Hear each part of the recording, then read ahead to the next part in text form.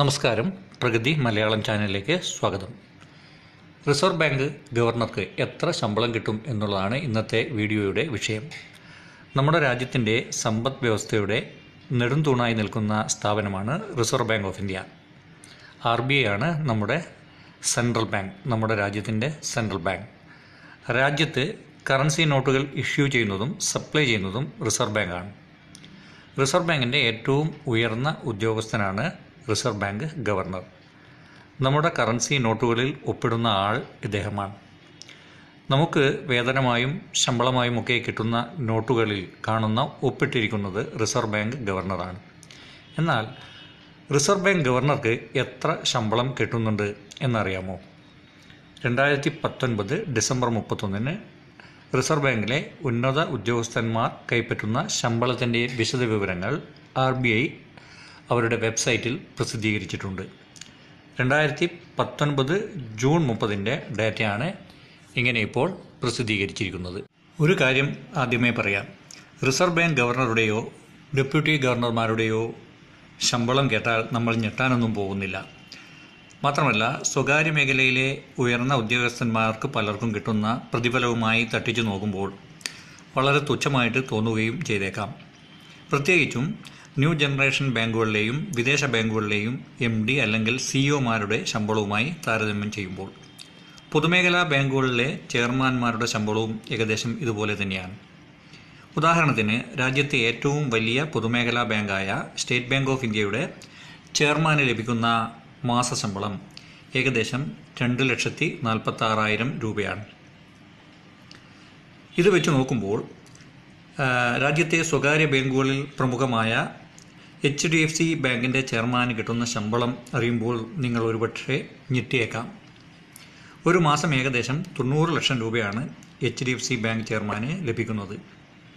Employee stock option വഴി ലഭിക്കുന്ന ഓഹരികൾക്കും മറ്റു ഇൻസെന്റീവുകൾക്കും പുറമെയാണ് ഈ ശമ്പളം എന്നുകൂടി ഓർക്കേണ്ടതുണ്ട്.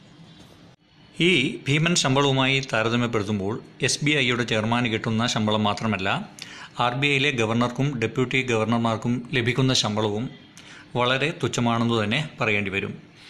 ആർ ബി ഐയിൽ ആകെ നാല് ഡെപ്യൂട്ടി ഗവർണർമാരാണ് ഉള്ളത്. അതിൽ വിരാൽ ആചാര്യ രാജിവെച്ച ഒഴിവിലേക്ക് ആരെയും ഇതുവരെ നിയമിച്ചിട്ടില്ലാത്തതിനാൽ നിലവിൽ മൂന്ന് ഡെപ്യൂട്ടി ഗവർണർമാർ മാത്രമേ ഉള്ളൂ. രണ്ടായിരത്തി പത്തൊൻപത് ജൂൺ മുപ്പതിന്റെ കണക്ക് പ്രകാരം ഇവർക്ക് ഓരോരുത്തർക്കും ലഭിക്കുന്ന മാസശമ്പളം രണ്ട് ലക്ഷത്തി അമ്പത്തി അയ്യായിരത്തി അഞ്ഞൂറ് രൂപ വീതമാണ്. ഇനി ആർ ബി ഐ ഗവർണറുടെ ശമ്പളം. ഈ അടുത്ത കാലത്ത് വന്ന ആർ ബി ഐ ഗവർണർമാരിൽ ഏറ്റവും പ്രശസ്തൻ രഘുറാം രാജനാണ് ആണല്ലോ. അദ്ദേഹം രണ്ടായിരത്തി പതിമൂന്നിൽ സ്ഥാനമേറ്റെടുക്കുമ്പോൾ അദ്ദേഹത്തിന് ലഭിച്ചിരുന്ന ശമ്പളം മാസം ഒരു ലക്ഷത്തി അറുപത്തൊൻപതിനായിരം രൂപ മാത്രമായിരുന്നു. രണ്ടായിരത്തി പതിനാറിൽ അദ്ദേഹം സ്ഥാനമൊഴിയുമ്പോൾ അദ്ദേഹത്തിന് ലഭിച്ചിരുന്നത് മാസം രണ്ട് ലക്ഷം രൂപ ആയിരുന്നു. ഇപ്പോഴത്തെ R B I governor Shri Shaktikanta ദാസാണ്. രണ്ടായിരത്തി പത്തൊൻപത് ജൂൺ മുപ്പതിന്റെ ഡാറ്റ പ്രകാരം അദ്ദേഹത്തിന് പ്രതിമാസം ലഭിക്കുന്ന ശമ്പളം രണ്ട് ലക്ഷത്തി എൺപത്തി ഏഴായിരം രൂപയാണ്. അതായത് തന്റെ ഡെപ്യൂട്ടി ഗവർണർമാർക്ക് കിട്ടുന്നതിലും മുപ്പത്തൊന്നായിരത്തി അഞ്ഞൂറ് രൂപ മാത്രം കൂടുതൽ. സ്വകാര്യ മേഖലയിലെ ബാങ്ക് മേധാവികൾക്ക് കിട്ടുന്നതുമായി താരതമ്യപ്പെടുത്തുമ്പോൾ ഇത് വളരെ കുറവാണെന്ന് പറയേണ്ടതില്ലല്ലോ. രാജ്യത്ത് പ്രവർത്തിക്കുന്ന ഒരു സ്വകാര്യ ബാങ്കിന്റെ ചെയർമാൻ മാസം തൊണ്ണൂറ് ലക്ഷം രൂപ ശമ്പളമായി വാങ്ങുമ്പോൾ രാജ്യത്തെ ബാങ്കിംഗ് മേഖലയെ ഭരിക്കുന്ന അല്ലെങ്കിൽ ബാങ്കിംഗ് മേഖലയെ നിയന്ത്രിക്കുന്ന ഏറ്റവും ശക്തനായ ഉദ്യോഗസ്ഥന് ഒരു വർഷത്തെ മൊത്തം ശമ്പളം ചേർന്നാൽ പോലും അത്രയും ലഭിക്കുന്നില്ല എന്നുള്ളതാണ് രസകരം. പക്ഷേ റിസർവ് ബാങ്ക് ഗവർണർക്ക് എത്ര ശമ്പളം ലഭിക്കുന്നു എന്നതിലല്ല കാര്യം. ആ പദവിയുടെ പ്രാധാന്യവും അന്തസ്സും ഉത്തരവാദിത്വവും അതിന് കൽപ്പിക്കപ്പെടുന്ന ബഹുമാന്യതയും.